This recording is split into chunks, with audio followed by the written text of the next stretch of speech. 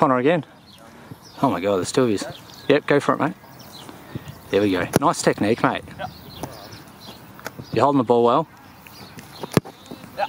There we go.